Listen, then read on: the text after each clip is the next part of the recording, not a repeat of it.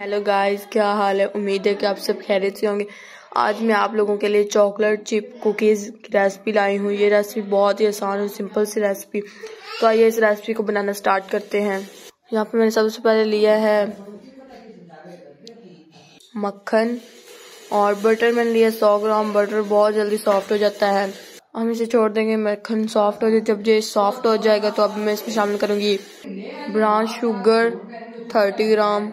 और acid sugar one gram और ऑन सिलाइजन वन टीस्पून और वन टीस्पून सॉल्ट यानी नमक।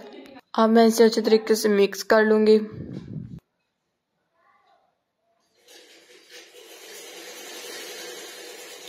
तो ये अच्छे तरीके से मिक्स हो गया। अब मैं इसमें ऐड करूँगी अंडा।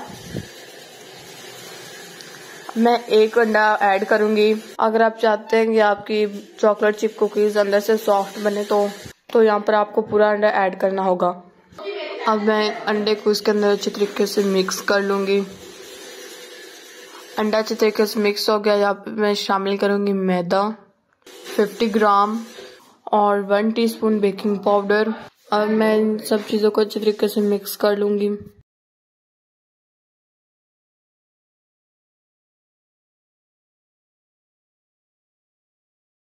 मिक्स हो जाएगा तो अब मैं इसमें शामिल की चॉकलेट चिप और 50 ग्राम चॉकलेट के ब्रिक ब्रिक टुकड़े।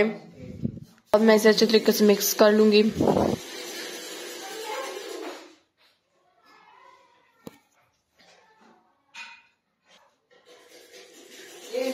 तो ये देखिए, हमारा ये मिक्सचर बहुत अच्छे तरीके से तैयार हो चुका है।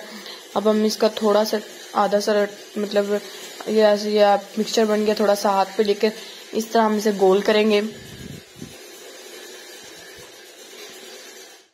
तो ये देखिए, मैंने किस तरह इस एक को हाथ से शेप दी है। ऐसे ही हमने बनाने बाकी भी।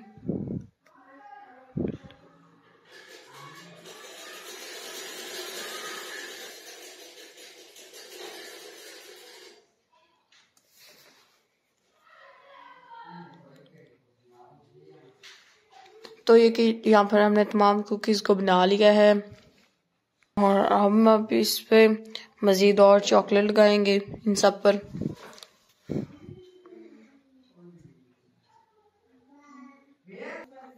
ये देखिए, मैंने इन सब पर चॉकलेट लगा दी अब मैं इन सबको बेक होने के लिए रख दूँगी।